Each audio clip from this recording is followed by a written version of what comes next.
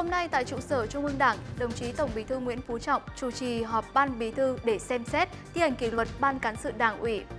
Ban nhân dân thành phố Hà Nội nhiệm kỳ 2016-2021 và một số cá nhân nguyên là cán bộ lãnh đạo thành phố Hà Nội, thành phố Hồ Chí Minh. Ban Bí thư nhận thấy Ban cán sự Đảng ủy, Ban nhân dân thành phố Hà Nội nhiệm kỳ 2016-2021 đã vi phạm nguyên tắc tổ chức và hoạt động của Đảng, quy chế làm việc có nội dung trái với quy định của Đảng, pháp luật của nhà nước về trách nhiệm quyền hạn của người đứng đầu, dẫn đến người đứng đầu lạm quyền, lộng quyền, can thiệp trái pháp luật và hoạt động của cơ quan, đơn vị liên quan trong đấu thầu, tạo điều kiện cho công ty của người nhà, người thân được hưởng lợi trái quy định, vi phạm quy chế làm việc của thành ủy và chỉ đạo của Ban Thường vụ, Thường trực Thành ủy, buông lỏng lãnh đạo, chỉ đạo, quyết định thi hành kỷ luật Ban cán sự Đảng ủy Ban nhân dân thành phố Hà Nội nhiệm kỳ 2016-2021 bằng hình thức cảnh cáo, thi hành kỷ luật bằng hình thức khai trừ ra khỏi Đảng đối với ông Nguyễn Văn Tứ, nguyên giám đốc Sở Kế hoạch Đầu tư Hà Nội. Nguyễn Thành Tài, nguyên Phó Chủ tịch thường trực Ủy ban nhân dân thành phố Hồ Chí Minh, Trần Vĩnh Tuyến, nguyên Phó Chủ tịch thành phố Hồ Chí Minh, Trần Trọng Tuấn, nguyên Giám đốc Sở Xây dựng thành phố Hồ Chí Minh. Theo thông tin từ Bộ Y tế, 4.331 bệnh nhân COVID-19 được công bố khỏi bệnh trong ngày hôm nay. Như vậy là tổng số ca được điều trị khỏi, dù điều kiện đủ điều kiện xuất viện tới nay là 111.308 ca. Trong khi đó, 24 giờ qua, cả nước ghi nhận thêm 9.605 ca nhiễm mới, tăng 951 ca so với hôm qua, gồm 10 ca nhập cảnh và 9.595 ca ghi nhận trong nước. Thành phố Hồ Chí Minh vẫn là địa phương có số ca mắc nhiều nhất, tiếp đến là Bình Dương. Tổ công tác của chính phủ về ngoại giao vaccine COVID-19 xác định vận động vaccine, thuốc và trang thiết bị y tế phòng chống dịch COVID-19 là ưu tiên hàng đầu trong tất cả các hoạt động đối ngoại trong thời gian tới đây. Làm thế nào để Việt Nam tiếp cận được nguồn vaccine nhanh nhất, nhiều nhất, sớm nhất để đất nước sớm quay trở lại trạng thái bình thường mới? Đây là những chia sẻ của Bộ trưởng Bộ Ngoại giao Bùi Thanh Sơn với phóng viên VTC1 ngay trong chiều hôm nay. Vâng, xin trân trọng cảm ơn Bộ trưởng đã trả lời phỏng vấn đài truyền hình kỹ thuật số VTC. Thưa Bộ trưởng, xin Bộ trưởng có thể Ờ, chia sẻ ý nghĩa của việc thành lập tổ công tác của chính phủ về ngoại giao vaccine và kế hoạch sắp tới của tổ công tác để chúng ta có thể tiếp cận nguồn vaccine một cách nhanh nhất, nhiều nhất và sớm nhất có thể. Tiếp tục khẳng định cái chủ trương nhất quán và xuyên suốt của Đảng và nhà nước ta là bảo vệ sức khỏe của người dân là trên hết và trước hết. Do đó phải huy động được tối đa mọi nguồn lực ở trong nước và quốc tế, trong đó có vaccine. Sẽ tập trung vào những cái nhiệm vụ trọng tâm sau đây. Một là đẩy mạnh cái xúc tiến vận động các đối tác, các tổ chức quốc tế tiếp tục viện trợ, hợp tác sản xuất và chuyển giao công nghệ vaccine, thuốc điều trị và vật phẩm y tế phòng chống dịch COVID-19 càng sớm càng tốt. Cái thứ hai là nỗ lực để tìm kiếm, tiếp cận, kết nối, thúc đẩy, đôn đốc các cái đối tác nước ngoài trong đàm phán, nhập khẩu và tiếp nhận vaccine, thuốc điều trị, vật phẩm y tế. Đẩy mạnh, vận động các cái đối tác giao vaccine cho Việt Nam đúng hạn và thậm chí là phải sớm hơn kế hoạch theo các cái thỏa thuận mà hợp đồng mà chúng ta đã ký kết với các cái đối tác. Thứ ba là chủ động, tích cực thẩm tra, xác minh các đối tác nước ngoài, các cái thông tin liên quan đến khả năng cung cấp vaccine, rồi thuốc điều trị và các vật phẩm y tế mà Việt Nam có thể tranh thủ nhập khẩu hoặc hợp tác để sản xuất. Trên cơ sở thống nhất cái kế hoạch lộ trình triển khai thì tổ công tác cũng đã phân công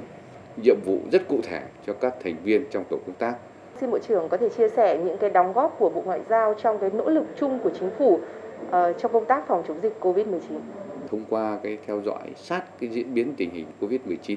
ở trên thế giới cũng như là kinh nghiệm của các nước ứng phó với cái đại dịch Covid này như thế nào thì Bộ Ngoại giao đã sớm tham mưu cho chính phủ về cái xu hướng các nước xác định vaccine là cái yếu tố quyết định nhất để có thể đẩy lùi được dịch bệnh và mở cửa khôi phục phát triển nền kinh tế về lâu dài. Cái thứ hai nên là ngành ngoại giao cũng đã đi đầu việc tham mưu uh, triển khai cái ngoại giao vaccine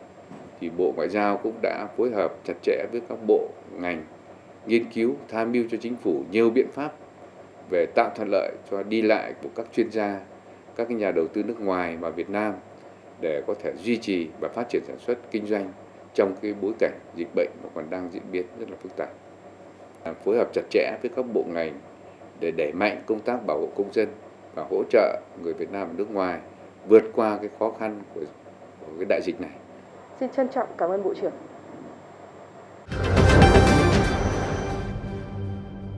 Ai ở đâu, ở yên đó đang được thành phố Đà Nẵng áp dụng nhằm sớm ngăn ngừa được sự lây lan của dịch bệnh. Với nhiều người, chủ trương này sẽ gây khó khăn trong cuộc sống sinh hoạt. Tuy nhiên, vì mục tiêu chung phòng chống dịch COVID-19, tất cả đã sắt cánh cùng chính quyền thực hiện nghiêm việc không ra đường trong 7 ngày. Một khu dân cư ở quận Ngũ Hành Sơn, thành phố Đà Nẵng, hai đầu tuyến phố, các tổ tự quản thực hiện chốt cứng, quyết không cho bất cứ ai ra đường. Người dân đã tự giác chấp hành nghiêm việc không ra khỏi nhà, nhà với nhà không tiếp xúc nhau. Trong hai ngày qua thì việc chấp hành chủ trương về việc ai ở đâu ở yên đó ở các khu dân cư trên địa bàn thành phố Đà Nẵng thì rất là nghiêm túc. Lo ngại về việc siết chặt ngoài đường nhưng lỏng bên trong các khu dân cư đã không xảy ra. Khi mà người dân ở các khu dân cư, các tuyến đường trong nội thành thành phố Đà Nẵng thì đã thành lập các cái chốt chặn ở khu dân cư của mình cũng như là ở tuyến đường của mình để mỗi gia đình, mỗi người dân đều phải tuân thủ nghiêm việc ai ở yên đó trong nhà. Tại các khu phố có tổ chức xét nghiệm sàng lọc, người dân đi xét nghiệm nghiêm túc, thực hiện đầy đủ quy định phòng chống dịch. Công tác xét nghiệm sàng lọc đúng tinh thần cuốn chiếu, từng tuyến đường, từng khu phố và kiên quyết không để xảy ra các sự cố lây lan. Tôi là những lực lượng được tham gia trong cái là cái phòng chống dịch này thì bảo đảm để cho những người xét nghiệm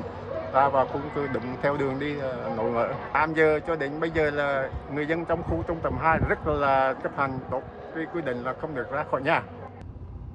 Với dân số hiện tại khoảng 1,2 triệu người, nhưng ngày đầu tiên áp dụng biện pháp ai ở đâu, ở yên đó, Đà Nẵng chỉ xử phạt 10 trường hợp vi phạm. Thì cơ bản là người dân chấp hành nghiêm túc ờ, các cái chủ trương theo quyết định 28 2788 của Chủ tịch Ủy ban dân phố trong cái việc tổ chức giãn cách xã hội. Để đảm bảo thực hiện tốt quy định ai ở đâu, ở yên đó, Đà Nẵng đã lập 200 tổ tuần tra, chốt chặn ở tất cả các vị trí trọng yếu để xử lý nghiêm các trường hợp vi phạm. Thành phố cũng phối hợp với các doanh nghiệp đầu mối cung ứng thực phẩm, hàng thiết yếu để cung ứng kịp thời cho người dân trong thời gian này.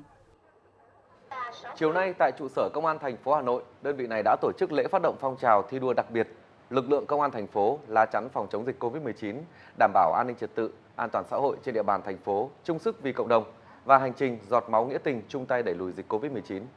Lễ phát động được tổ chức theo hình thức trực tuyến và nhận được sự tham gia của đông đảo đoàn viên thanh niên trong lực lượng vũ trang thủ đô. Thời gian qua thực hiện chỉ thị của Thủ tướng Chính phủ về tăng cường quản lý xử lý vi phạm liên quan đến giãn cách xã hội, tuổi trẻ công an thủ đô đã tổ chức nhiều chốt chặn ở cửa ngõ thành phố, tăng cường lực lượng lưu động trên các tuyến phố, đồng thời hỗ trợ người dân gặp khó khăn. Trong thời điểm ngân hàng máu của Bệnh viện Huyết học Truyền máu Trung ương đang khan hiếm, lễ vận động lần này cũng đã thu hút được gần 1.400 cán bộ nhân viên của lực lượng công an trên địa bàn thành phố Hà Nội tham gia hiến máu nhân đạo.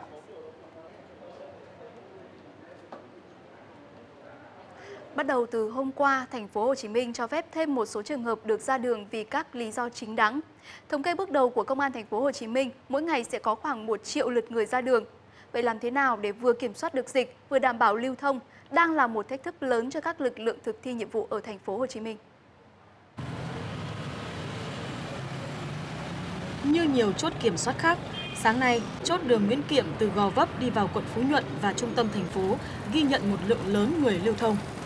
Đây là những người thuộc các nhóm như sản xuất thực phẩm, công chứng, phòng vé máy bay và phòng khám tư nhân. Được phép đi lại, lượng người đông khiến chốt kiểm soát cũng phải căng mình để làm việc.